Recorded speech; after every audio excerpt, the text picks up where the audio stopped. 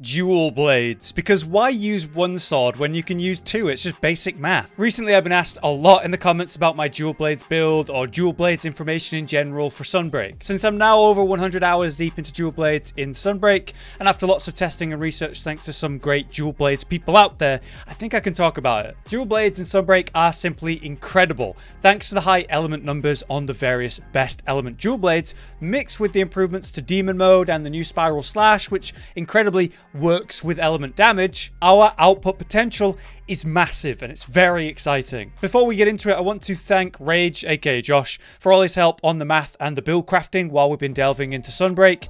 And also, I want to shout out and thank Pilgrim for his OG Rise Dual Blades guide and speedrunner Yuki for the invaluable examples to watch and learn from. I'm certain as we go into Sunbreak, these two are going to be incredible resources for Dual Blades in general, so please look them both up. This video will cover the new aspects of dual blades in Sunbreak, and it's not a basic tutorial on dual blades. So it's going to assume you know the very basics, but should still serve as a useful resource even to new dual blades players. And while this is not a build video, I will mention some skills you'll want to get, and I will follow up soon with a proper video on the build. Okay, with all of that said, welcome back to Rage Gaming, my name is Hollow, and let's talk dual blades. So in Sunbreak, dual blades had some big changes. A lot of them good, but there was one that was a bit of a pain. An example of that would be, say, Piercing Bind, which animation is now quicker and nicer, uh, but Feral Demon Mode. That requires twice as much Demon Gauge building, so that sucks. New in Sunbreak, though, we have two Silk Bind attacks in the form of Spiral Slash and Iron Shine Silk,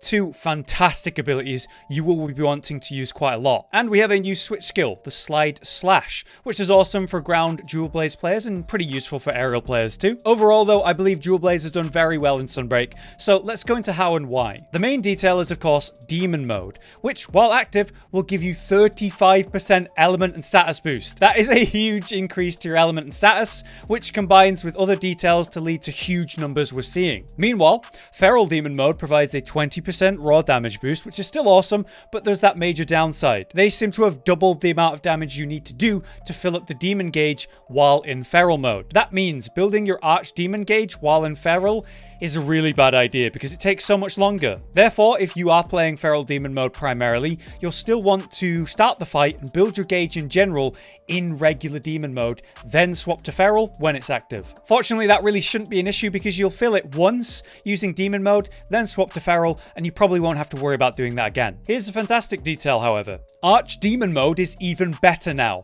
Newly buffed, its element scaling was increased to 20%, which helps us maintain our DPS massively while using that demon gauge. Baseline then, your element output is just higher now throughout the entire hunt, and I believe it's also at 20% for status, even though that's not mentioned in these vague patch notes. There's two other major details found in the patch notes we should highlight though. Demon Flurry Rush has had its own buff, increasing the attack power on part 1 and 2 of the combo, and then the attack power, element, and status scaling were increased for the finisher. Essentially, this means ground dual blades has been buffed a bit in Sunbreak, which was completely overshadowed by aerial dual blades in the original release. However, thanks to the ridiculous potential of Demon Flight, combined with the new Silkbind Spiral Slash, I still believe aerial dual blades is the best way to DPS. But what it does mean is that ground dual blades is more relevant than it was. And if you prefer to play ground style, well, it's better now. Not everyone wants to speedrun, and that's fair enough. There's one more major detail I should mention though, it's Blade Dance. It had its attack power increased on the 10th, 11th, and 12th hit,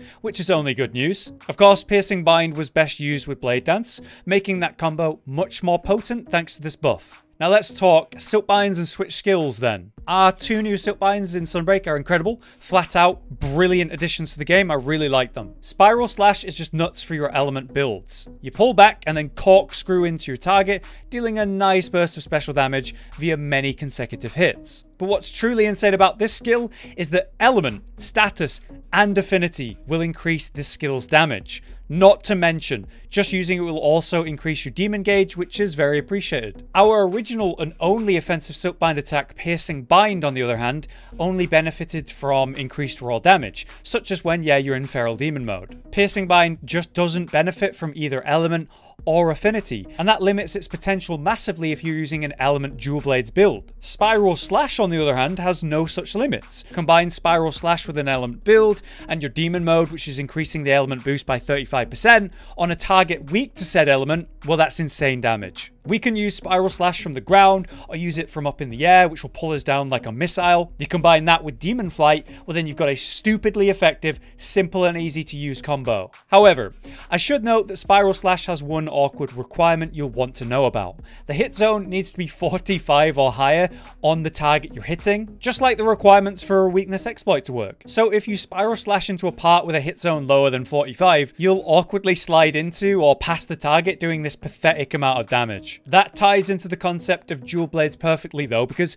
you should only be attacking the best hit zones for your weapon, the weakest points. So it makes sense that you would also be normally aiming Spiral Slash at those places either way. Meanwhile, we also have Iron Shine Silk, which is way simpler. When you use this Silk Bind, you'll perform a very sexy sharpen animation, and then for the duration of that buff, you will gain sharpness every time you successfully evade or counter an attack. So that means evading at the last possible second to avoid damage, or using, say, the original Silkbind counter of Dual Blades, Shrouded Vault, to counter the damage and gain sharpness. Essentially, whenever you need sharpness, you should be using Iron Shine Silk, and then look to either evade damage or ideally counter it using Shrouded Vault. We'll certainly want that in our gameplay to maintain the highest sharpness a weapon has without having to stop to actually sharpen. Next we have this slide slash combo. So by using your evade attack in combination, you can do a right slide slash or a left slide slash depending on which way you're pulling the stick the time. What's great about this attack is the fact that it doesn't cost any stamina to do, just like Demon Flurry Rush. So you see my stamina at the top, it's basically empty. Watch how I'm still moving, I'm still evading, and I'm still attacking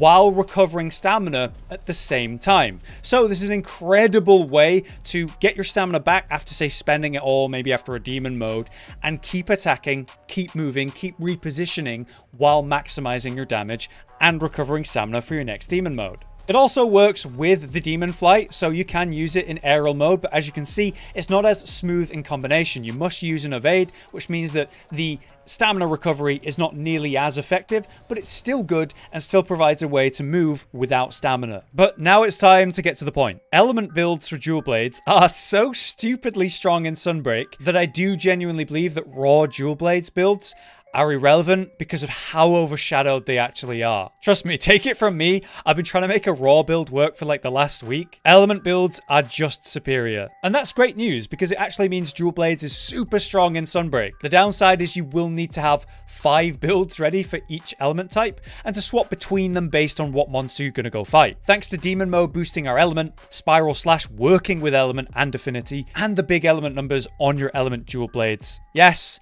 Element Dual Blades is just really strong, has so much potential. Therefore, if you are playing Element Dual Blades, you'll mainly be using Demon Mode, with Spiral Slash as your main offensive Silkbind attack to maximize damage. However, if you are choosing to play Raw Dual Blades, you'll want to use Feral Demon Mode, using Piercing Bind as your main offensive Silkbind. Though, you'll still want to make use of regular Demon Mode to build up Demon Gauge when you need to. Once again though, if you can choose between Element or Raw, you should be always picking Element it's a lot stronger. But I acknowledge in your original playthrough, there's a damn good chance that you'll need to use Raw because you're facing so many different monsters and you're playing for the game, not farming. Now, a quick word on builds. I'm currently working on a video specifically about this, of course, but I know a lot of people are still going to want some basic information until then. Baseline, your dual blade builds will want weakness exploit, critical boost, critical eye, and chain crit as your priority, weakness exploit being the most important by far. You always want to be attacking the weakest point, and that makes you do more damage on that point. For element builds, you'll also want a good element weapon, and to match that with 5 element attack of said element, then the critical element skill. We have various rampage decorations to consider as well, Elembane being a great pick if the monster has suitably high element weakness. But there are other ones I would suggest and will do in that proper video. I hope that information gives you something to work with though, but look out for the proper video soon. Now your scroll setup is going to be preference in a way, but there are going to be some ones I really would suggest. At very least, one scroll should have piercing bind on it, so my blue one here does, while the other scroll should have spiral slash, like my red one. Now feral demon mode should be on the scroll that has piercing bind, like in this case, and then regular demon mode should be with spiral slash, like it is here. Your main scroll then should have Shrouded Vault, the one that you're playing generally in combat, so that you're able to counter whenever you need to in that moment, while your other scroll should be the one that has Iron Shine Silk for you to swap to and then buff up with that when needed. Then it really depends on whether you're playing ground or aerial dual blades, whether you'll have Demon Flurry Rush or Demon Flight on both scrolls, like you see in my case. Lastly, I like Slide Slash and I run it on both scrolls because I like the movement it provides, while costing no stamina while I'm doing that. But as you can see, those are my scroll setups and why. Alright, now let's talk about ground and aerial dual blades, because that's something I've referred to throughout this video. These are the combos you should be using with each. To keep it simple, we have ground style, which is essentially having better movement around the monster due to your Demon Flurry Rush into Evade, into Demon Flurry Rush, into Evade. You can do this permanently as long as you have the stamina to do it. So you're constantly attacking while moving. And the idea is to find the sweet spot. You're moving around the monster while it's attacking, moving to its weakest point, and then going all in on that weakest point until the monster starts moving and trying to attack you again. At which point, you just keep moving around. Like a buzzing fly, always constantly attacking, looking for the weak spot, but never being in one place. That's a very fun playstyle and you should recognize it from World, but the fact of the matter is it still has lower output than Aerial. Aerial, by comparison, as you can see, has us leaping up, doing lots of attacks in the air, jumping back down,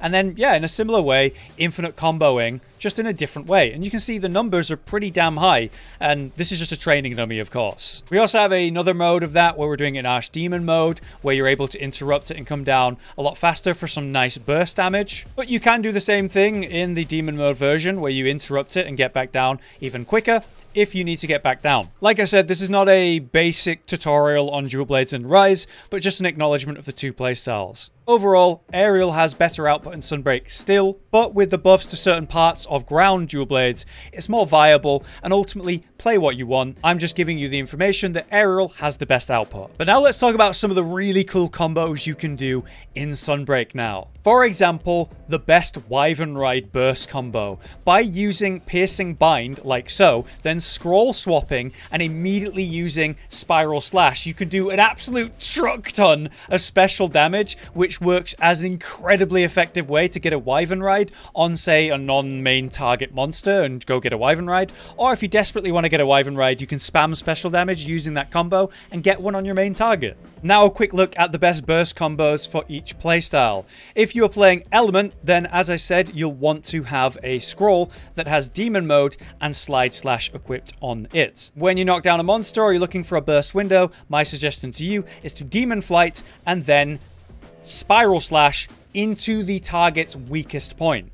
As you can see, that was 17 hits for nearly 2,000 on the dummy in just a moment. During a knockdown, I would say you're able to pull off at least two of these combos in all scenarios, and then you may even be able to pull off three if you've got an extra wire bug ready for the knockdown. Meanwhile, if you're playing Raw, therefore you're playing Feral Demon mode and Piercing Bind, the best way to get the most damage out of that combo, I walk up, I begin Feral Demon mode, which is an attack, then I Piercing Bind, then I'm going to Demon Flurry back in, and then I'm going to immediately do Blade Dance, just like we were doing in General Rise for ground gameplay. And as you can see, it's also about 2000 damage, but it's a much slower, longer combo. The chance of you getting two of those off during a knockdown is less likely, but it's possible. But there you have it. That is my guide to dual blades and sunbreak. When I learned about the spiral slash actually working with element and affinity, it shocked me because, you know, they did limit piercing bind to raw, but then they haven't done that for spiral slash. It's led to a very fun combo that makes more sense with aerial dual blades, I think,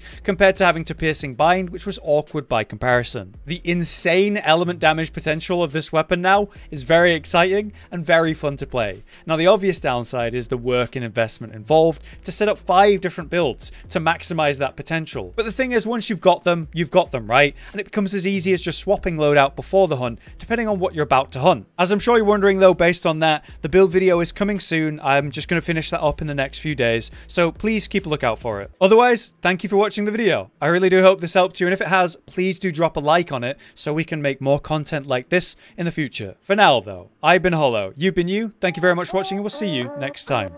Josh, Cotton, and Hollow with the videos, dropping the humor like a hammer on your tippy toes, bringing entertainment on a daily arrangement to take our insanity and turn it into entertainment. Yes, I said entertainment twice. To reiterate that it is nice to look into your faces on a mostly daily basis when you let us in your homes to make the whole world a stage. Is uh goodbye.